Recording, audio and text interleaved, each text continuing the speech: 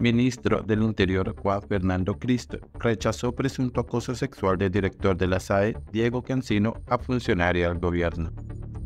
Viviana Vargas Ávila, actual asesora de la Dirección de Seguridad, Convivencia Ciudadana y Gobierno del Ministerio del Interior, acusó al ex concejal y ex viceministro del Interior de haberla tocado sin su consentimiento.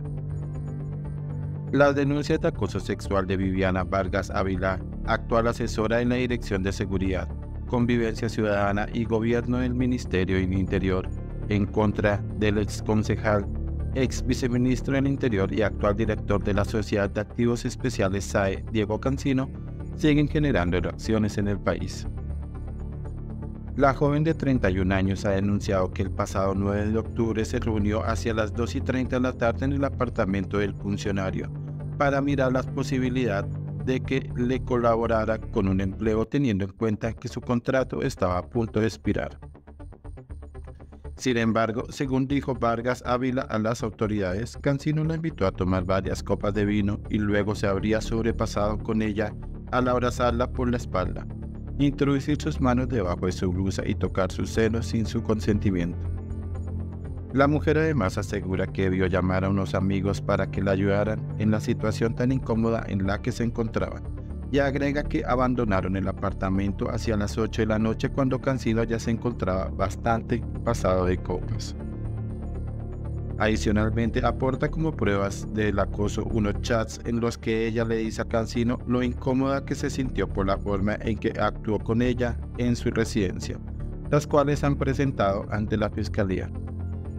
Este domingo, el ministro del Interior Juan Fernando Cristo, en respuesta a las informaciones divulgadas por medios de comunicación sobre un presunto caso de acoso sexual protagonizado por el ex viceministro Diego Cancino, contra la asesora de la Dirección de Seguridad, Convivencia Ciudadana y Gobierno del Ministerio del Interior, Julie Viviana Vargas Ávila, expresa su rechazo contundente ante cualquier tipo de abuso o discriminación de género.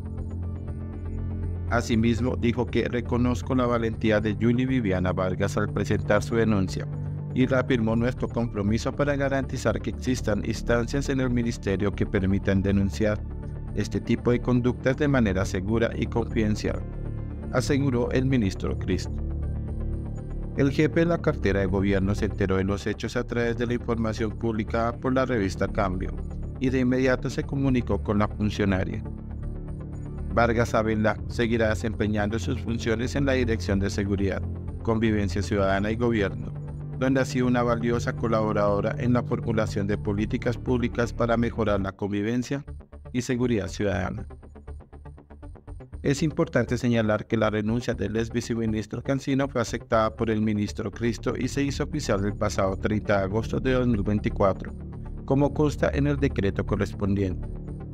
La continuidad del contrato de Julie Viviana Vargas Ávila, formalizado el 24 de octubre de 2024,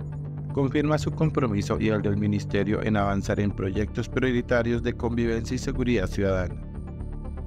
Como se conoció, Diego Cancino fue nombrado como nuevo director de la SAE el pasado jueves 24 de octubre por el presidente Gustavo Petro.